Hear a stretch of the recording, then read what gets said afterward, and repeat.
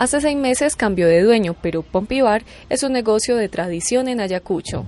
Aunque don Pompilio, su fundador, murió, el negocio permaneció con el mismo nombre.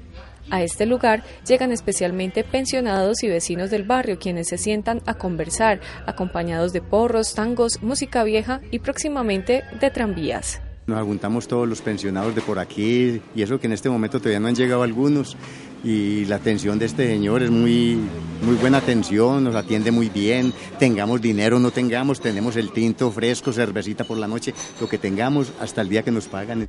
Don Aníbal vive hace 25 años en Buenos Aires sobre Ayacucho y está feliz porque desde el balcón de su casa o desde Pompivar podrá ver el tranvía pasar. Esto va a ser una belleza, yo le cuento a mi señora y salimos acá al balcón porque vivo por todo Ayacucho y le comento y digo, esto va a ser una belleza, sentados nosotros aquí divisando esta belleza del tranvía cuando comience a funcionar.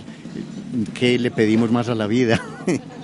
Para uno de los propietarios de Pompivar, Ayacucho será la nueva zona rosa de Medellín gracias al tranvía. Que se animen que este Buenos Aires volvió a ser lo, eh, lo que era antes.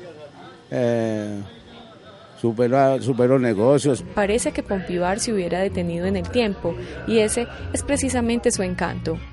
El tranvía pasará justo al frente de este negocio, llenando de nuevas historias las conversaciones de los pensionados de Buenos Aires.